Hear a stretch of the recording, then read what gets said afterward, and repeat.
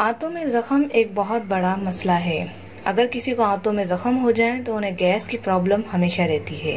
आइए जानते हैं हम इस वीडियो में जाने एहतियाती तदाबीर और इलाज। वालेकुम मेरा नाम है अनम और आप देख रहे हैं rising time health and beauty tips जैसे कि अमूमन अक्सर लोगों में देखा गया है कि पेट में मरोड़ होना, दर्द होना बार बार गैस का बनना बहुत ही ज़्यादा होता जा रहा है।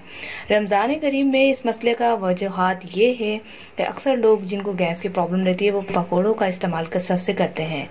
बेसन, मैदा, आलू और बादी चीज़ें, ये तमाम चीज़ें गैस बनने में बहुत ज़्यादा मावन साबित होती हैं। अमूमन लोगों को इन बारे में ज़िक्र ही नहीं होता। चने की चाट, चने की दाल और पकोड़े, जो चीज़ें बेसन से बनती हैं, वो तमाम चीज़ें, पापड़, ये सारी चीज़ें गैस बनने की वजूहत होती हैं।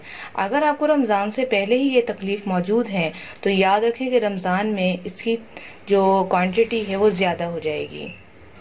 यहाँ पर मैं आपके लिए बहुत ही आसान नुस्खा लेकर आई हूँ, जो आप करेंगे इन ताला आपको बहुत फ़ायदा होगा। जैसा कि अमूमन हर कोई जानता है कि शहद में शिफा है। रसूल पाक सल्लल्लाहु अलैहि वसल्लम की हदीसों से, सुन्नत से हमें यही साबित होता है कि जो भी मर्ज के लिए शहद का इस्तेमाल किया जाए, उसमें शिफा ही शिफा है।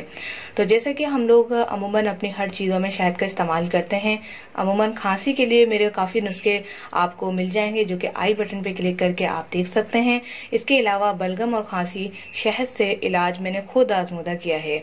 इसी तरह से आज की वीडियो में आपके लिए लेकर आई हूँ शहद से ही आंतों के मसाइल का इलाज।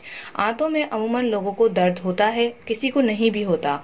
ऐसा होता है कि मरोड़ उठना और कब्ज़ की शिकायत भी हो जाती है, आंतों का खुश्क हो जाना या मुसलसल हर पाँच या दस मिनट बाद गैस का खारिज होना है।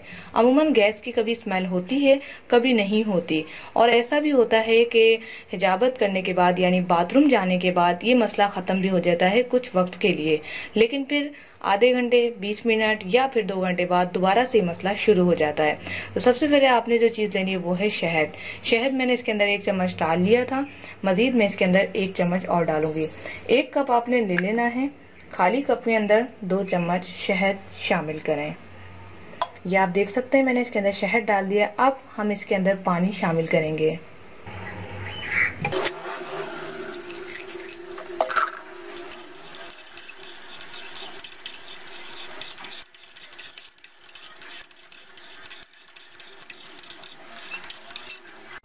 माशाल्लाह से ये बहुत अच्छे तरीके से हल हो चुका है और अब जो है आपने ये एक कप अफ्तारी में और एक कप सहरी में पी लेना है। दो वक्त करें इन ताला आपको तीन दिन में फ़र्क महसूस होना शुरू हो जाएगा। इसके बाद आप थोड़ा सा परहेज़ कर लीजिएगा चिकनी तली हुई चीज़ों से, आलू से, बादी चीज़ों से और बड़े के गोश्त से। इससे भी जो है अमूमन गैस बहुत ज़्यादा बनती है, आंतों में ज़ख़म हो जाते हैं। अब बात करते हैं कि आखिर ये होता क्यों है?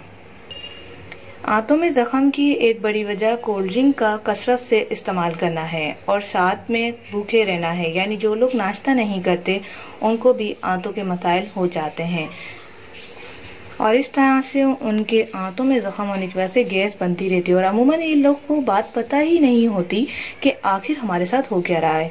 वो डॉक्टर्स के पास जाते हैं और वहाँ पर जो है महँगी महँगी दवाइयाँ अजीब व गरीब सीरप पीते रहते हैं। और ये बात नहीं जान पाते कि आखिर उनके पेट में गैस बन ही क्यों रही है।